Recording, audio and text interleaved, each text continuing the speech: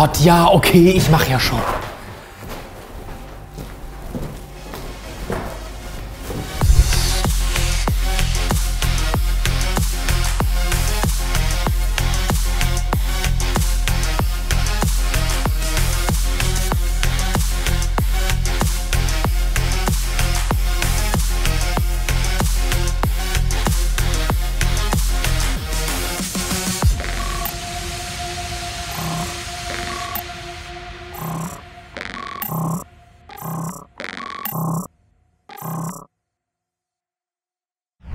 Jetzt habt ihr gedacht, das Video wäre vorbei. Aber nein, aber nein. Es gibt noch eine kleine Besonderheit und zwar ab jetzt. Guckt mal da in die andere Richtung, wer da sitzt. Ja, das ist der Gregor, der Danke Gregor. Gregor, sag mal, äh, Hey. sehr schönen Hintergrund, den du da so hast. Hä, wo der bloß herkommt, keine Ahnung. Und bei mir ist er auch Der- nicht so verschwommen wie bei dir. Der steht hier auch äußerst gut. Ja, ich habe den hinterher, weil damit wir eine Tiefenschärfe haben. Ist Ah. verschwunden. der, ist, der ist zehn Meter weiter hinter, hinter, hinter mir. Ja, in deiner, in deiner, in deiner, deiner Playboy-Menschen und so. Ist klar. Richtig, richtig. Um, um, an den, äh, um an den Hintergrund ranzukommen, muss ich erst in meinem äh, Bugatti steigen. Um dann Richtig. Und dann musst du durch die Grotte schwimmen und so. Ist klar. As usual, die Tabletop-Grotte. Gregor, es freut mich, dass du hier bist. Äh, was ist denn der Grund, dass du hier bist? Dass du mich gefragt hast, ob ich auf deinem Kanal Videos veröffentlichen will. Nein. Doch. Oh, was? Was? Komm, jetzt, Ja, jetzt hol mal was aus. Gut. Ähm, auf deinem Kanal, also zu kurz kommen ist, glaube ich, ein zu hartes Wort, aber auf deinem Kanal findet ja aktuell vergleichsweise wenig GW-Inhalt statt, verglichen mit dem Marktanteil, den GW im deutschen Tabletop-Hobby hat. Das ist so, so der Eindruck, den ich jetzt aus der Zuschauersicht heraus habe. Ja, Ähm, das äh, ist durchaus korrekt.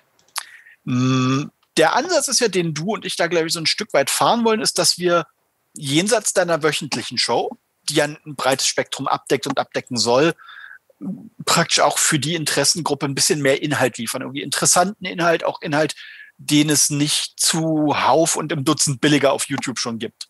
Battle Reports. Mit Ja, Wackelkamera. so in etwa. Genau. Nein, Battle Reports wird es von mir nicht geben. Erstens, weil ich GW-Kram irgendwie fast ausschließlich bemale und fast nie spiele.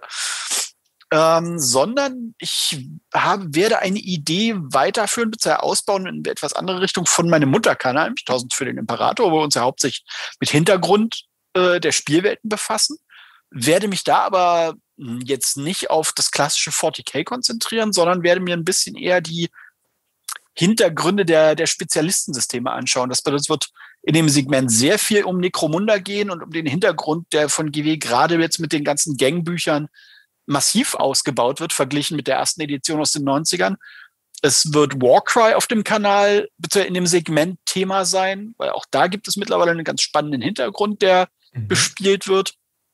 Ich werde sicherlich auch schauen, dass ich hier und da, wenn ich Gelegenheit habe, mir auch ein paar andere von den Spezialistensystemen anschaue mit dem jeweiligen Hintergrund, ob das jetzt Aeronautica Imperialis ist, also praktisch das Luftkampfsystem.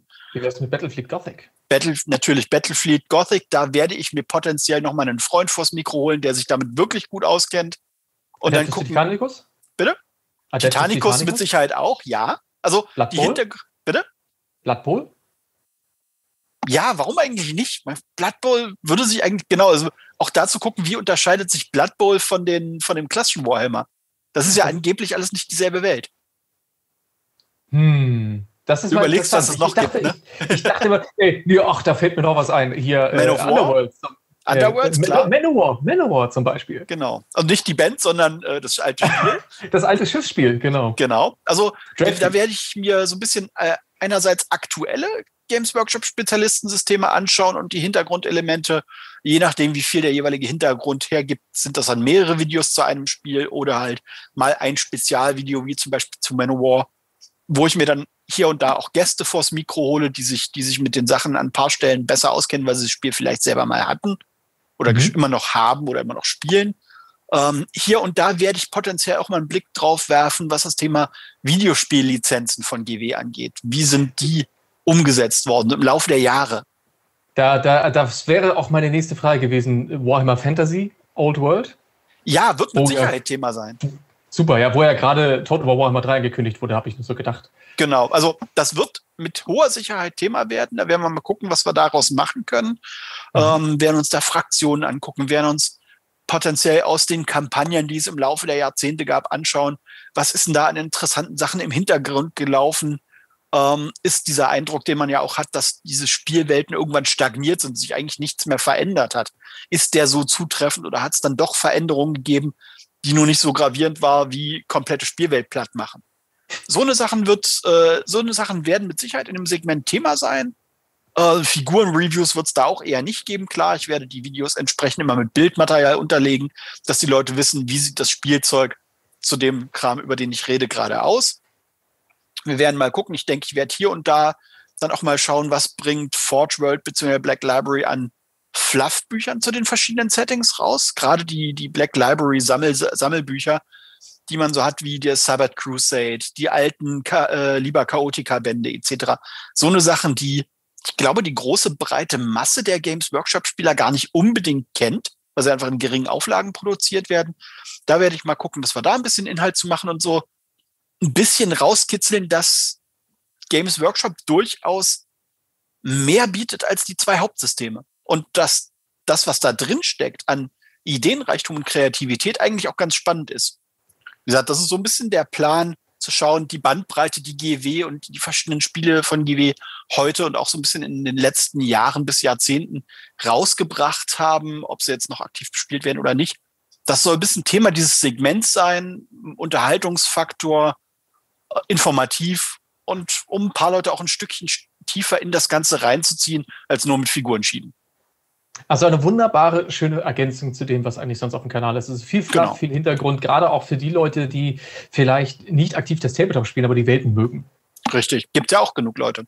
Total, gibt es ganz, ganz viele Leute.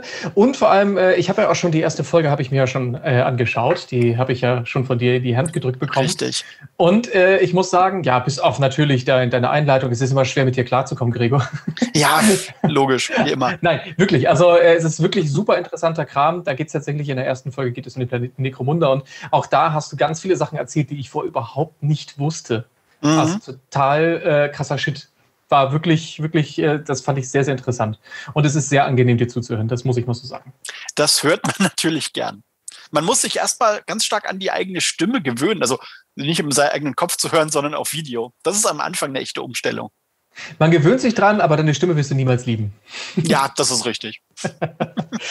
Gut, ja, wann geht's denn los, Gregor? Ich glaube, es geht nächste Woche Freitag geht's mit der ersten Folge schon. Ich glaube los. ja, ne? Genau, wenn, wenn, die, wenn bei dir die Staffel dann wieder anläuft, dann äh, starten wir auch mit dem neuen Segment. Ganz genau. Die Staffel geht am 28. los, um euch ein bisschen warm zu machen. Starten wir am 26, also am 28. bei Rocket Beans TV, dann am Dienstag drauf auf YouTube. Aber am 26. starten wir dann schon äh, die Videos von Gregor, die dann zweiwöchentlich laufen. Werden. Richtig, genau. dann ja. schauen wir mal, was so auf euch zukommt. Genau, wir haben ja schon gesagt, die erste Folge wird äh, Necromunda. Ja. Also der Planet Necromunda an sich. Und mehr wollen wir gar nicht verraten, weil ich bin selbst gespannt und möchte aber wissen, was dann da weiter passiert. Genau. Gut, dann bis in einer Woche, würde ich sagen. Danke, Gregor. Ciao. Du möchtest die Tabletop Show Dice supporten und gleichzeitig dein Auftreten am Spieltisch pimpen? Mit dem Dice Merchandise kein Problem. Du steigst beim Kauf von Shirts und Spielutensilien nicht nur in den Style Olymp auf, du unterstützt damit auch Dice und hilfst dabei mit, Tabletop great again zu machen. Also zeig deinen Mitspielern, wo der Dice hängt und lege das Schwarz an.